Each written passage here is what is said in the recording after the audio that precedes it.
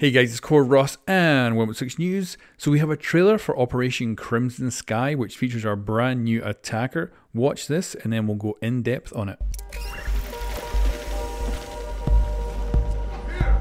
Getting the job done often requires a creative approach.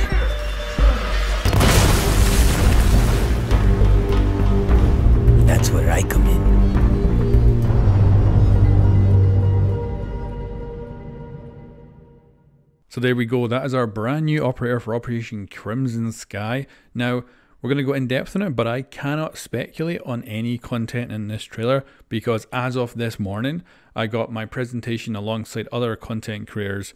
So I know all about this guy. I've played him today, and I also know about Year 6 as well. So, um, yeah, I can obviously point out the stuff that's visually on screen, but you guys have to break it down even more in the comments below and see how you think he's going to actually work. So let's start with the drone. Obviously, he has a drone that he can place on the ground. It's bloody big. Like it's at least what four times the size of a normal drone with very odd looking wheels. And it obviously has quite a lot of LEDs on it as well. It's quite bright.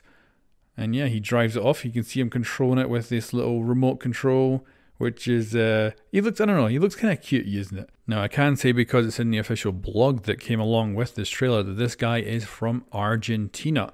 So he is our first Argentinian operator to join a Rainbow Six, and he is a thief, which I'm not you know probably too surprised by the fact it's called Crimson Heist. So and of course we've seen Rainbow Six Siege very much move away from counter-terrorism, and we've seen operators come from all kinds of backgrounds. Although I don't know how he uses his drone to steal stuff.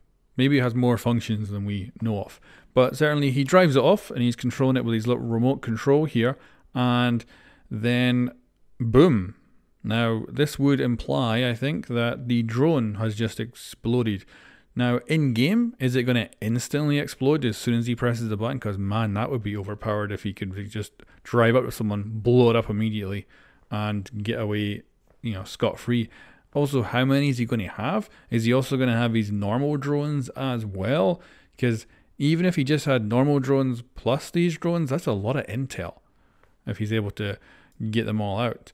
And that's it. The trailer kind of ends there with obviously the confirmation of his name, which is Flores, and he is an attacker, and he's got these rose tinted glasses. So, yeah, this is our brand new attacking operator. The trailer is super short, bit of a pity, but I guess it is quite a nice tease. And the actual reveal will be on February 21st at 12 o'clock EST. Now, there will be Twitch drops if you want to go watch this, where you can get packs. I think it's every hour now. But the charms and the Chankin bundle that was going to be on the Twitch drops are gone. Uh, presumably, they'll be, you know, rescheduled for the actual six invitation, whenever that actually happens. Um, but yeah, that's the full reveal going to be on February 21st. Of course, we'll also hear about year six as well. So, what do you guys think about this guy and the potential of this drone? When the first leaks came out about this dude and his abilities, I kind of thought, hmm, kind of sounds a bit boring. Like we just had Aruni who is super complicated, which is a good thing. I like complex operators, and Aruni was right up there as the most complicated operator I'd ever, you know, actually tested with doing like my MythBuster series. Whereas this guy reminds me much more of Year One, Season One, and Season Two, where we had Frost and Buck, who were super simple. Then we had Valkyrie and Blackbeard, who again were super simple. Even, of course, the Valkyrie cameras were a little bit more complicated. They were just, you know, default cameras that you could throw. So they were all very simple operators. And back then, when the game just started and those were the first operators to come out, I was a little bit worried because I thought they're really simple. Like, I want more complicated characters. And this guy kind of reminds me of that start of Siege where those operators came in super simple. And this guy seems to be kind of along that kind of vein. Although, looking forward to actually going in depth and seeing if there's any good interactions between him and his teammates. And of course, him and the enemy as well. Now, how is he also going to get used? Is he, you know, is he a fragger? Do you send these drones in to get kills? Do you use them to destroy gadgets? Is it a big radius of destruction, small radius?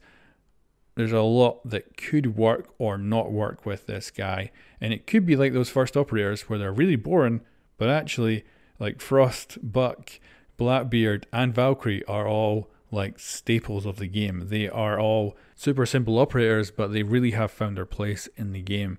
So, yeah, let me know in the comments below what you think of this guy so far with the teasers you've got, and I will catch you next time.